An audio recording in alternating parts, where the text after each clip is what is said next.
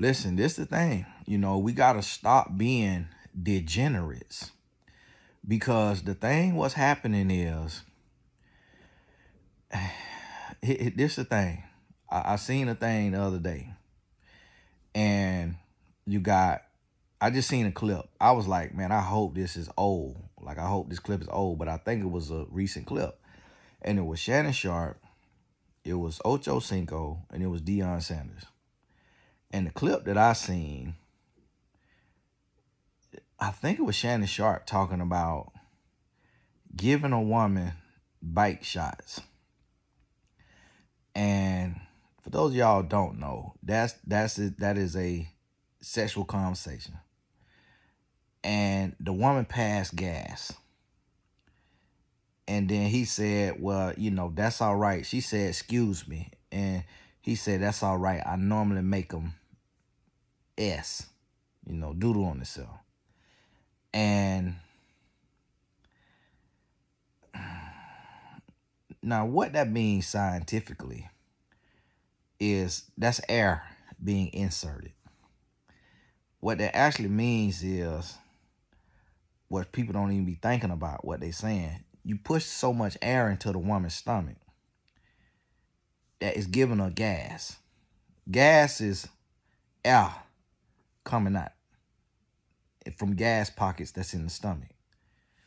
So, but here's the thing that we have to understand as black men. Why would you be having this conversation with a division 1 football coach. And Deion was trying not to be in the conversation, but they got so much motion, he wanted to go on the show. So he trying not to really engage in it.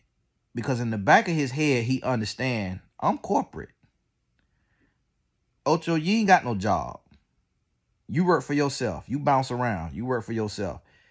Deion get a check signed by a board. So this is what you have to think about, and this is what black men not thinking about. Never in the history of Urban Meyer, Nick Saban, Jimbo Fisher, I can't remember the man that was at Florida State coaching, Bobby Bowden, uh, what's the man at Clemson? Dabo Swinney. Kirby Smart. Never in these men entire career have they gone on a show or a podcast where the host are being sexually explicit in their presence. It is not professional. It is not mature. It is not respectful. And it is a bad look.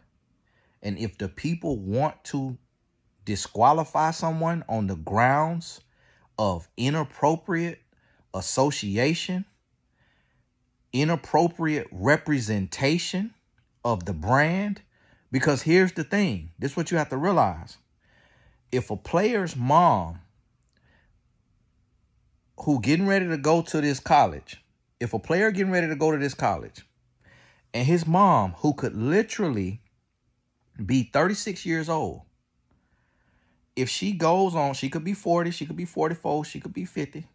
She goes on YouTube or she just scrolling on social media and she sees this clip and she say, this who my son finna go play for? somebody who has created a relationship with these men who feel comfortable talking about being sexually vile to women in public. This is a locker room conversation. This is a bar conversation. This a at the barbecue chilling conversation. This is not a conversation for millions of people to see when you are professional and this is this the thing. And like, listen to me. I'm going into a space to where I'm taking the gloves off. Everybody, I'm I'm holding everybody accountable. You know why? Because I hold myself accountable. And you know why? Because everybody at large. It, it this ain't just affecting one person. This ain't this ain't this affecting millions of people. This affecting millions of people. And it people don't understand the mind. This stuff shapes and shifts culture. So even with Shannon Sharpe talking about him, he, he the bite shot king. Even with him talking about that, that is that that is is called doggy style for a reason. But what you have to understand is that's not a respectful, loving position. That's something that is for prostitutes, strippers. Now, yeah, you could do all that with your wife uh, and all that, but you talking to men who not married. You talking to men who got a girlfriend. And so now subconsciously what's going to happen is anything the mind hears, and this is what people don't understand is you have to be careful what come out your mouth. Because anything the mind hears, the subconscious mind, it accepts it as truth. The subconscious mind, scientifically, cannot decipher between fact or fiction. So anything it hears, it accepts it as truth and it moves towards it. That's what people talk about manifesting. If the conscious mind confirms it, then it for sure moves towards it. If the conscious mind refutes it, denies it, now it can label it a lie.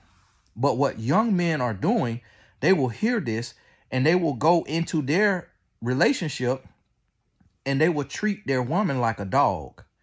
They will have her in this position and they'll be doing her like this and they'll be doing it very aggressively and not realizing that they could be causing pain.